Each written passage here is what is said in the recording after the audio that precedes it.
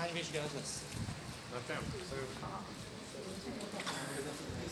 Öt percre járni kell, amikor elmentél.